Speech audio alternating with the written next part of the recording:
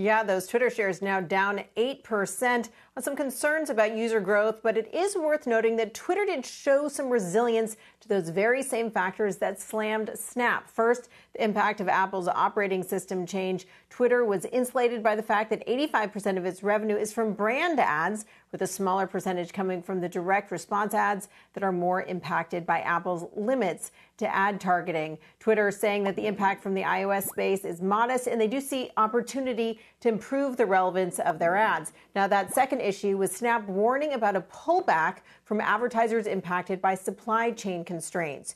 Twitter did benefit from the fact that half of its ads are for digital goods or for services. Now, its user growth, though, fell short of estimates, raising concerns about potential market saturation, particularly here in the U.S., and revenue guidance was on the lower end of that expected range. That's weighing on the stock. It's now down over 8.5% this morning. Now, meanwhile, Spotify shares are surging this morning on better than expected revenue growth, with podcasts helping grow ad revenue 75 percent in the quarter. Spotify CEO Daniel Ek saying that Apple's changes did not have a significant impact because of the service's strength in first party data. Because users log in to Spotify, they are able to understand who those users are. Now, no comment about any impact of those supply chain issues, saying that the biggest factor for the fourth quarter is going to be once again growth in the podcast industry. So, really interesting here, guys, to see how these two companies are managing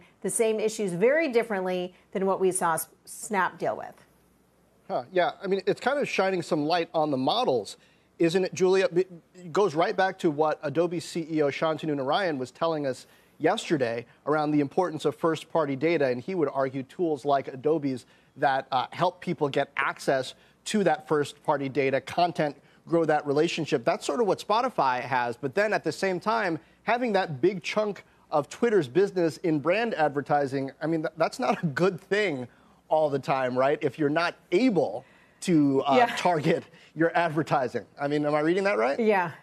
Well, what's yeah, absolutely. I mean, yes, first party data is always more valuable. You just have a better sense of who your customer is. You don't have to worry about tracking them when they're off your platform. But the first party data thing is one thing. To me, the brand advertising thing is really funny in a way because Twitter was really criticized for not having more exposure to direct response advertising. Direct response advertising was considered a key strength for Snap, for Facebook, for others. This is where Twitter wanted to be. So they were slowly growing their direct response business just at the time that Apple announced this operating system change. So, in fact, something that was a weakness for Twitter, the lack of a direct response business, turned out to be a strength once Apple announced this change. And now Twitter does have an advantage, though, in that they can build out that direct response business with full knowledge of all of those Apple constraints, whereas Snap and Facebook have to retool their direct response businesses that they already had.